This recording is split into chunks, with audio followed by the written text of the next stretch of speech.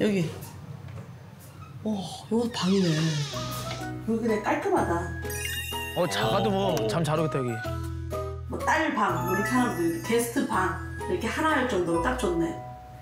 마지막 문이 남아 있어. 이 마지막 문 맞냐? 나 이제 기억이 안 나. 방이 몇 개를 봤지? 진짜 크다. 개, 다섯 개 봤나? 아 여기도 방이네.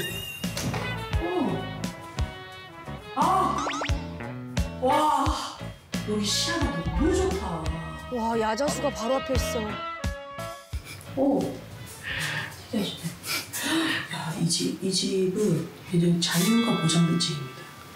이 북상 옆에 종교 대통합이네. 아, 종교 대통합이에요. 지푸라기라도 잡고 싶은 그 심정으로 원래 두 개를 같이 놔둔 경우도 있고요.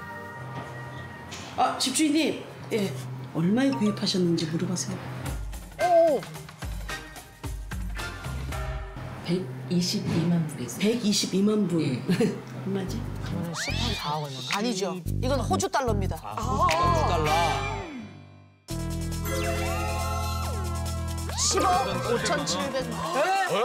환율 지금, 지금 환율로. 지금 환율로 따지면은 10억 5,700만 원 정도. 지금 환율로? 네. 근데 뭐, 뭐 약간 그런 거 아니에요? 우리나라랑 또 취득세 이런 게 달라가지고 호주는 뭐 취득세 몇백 프로 막 이런 거 아니에요? 취득세로 어떻게 10%? 방이 다섯 개예요.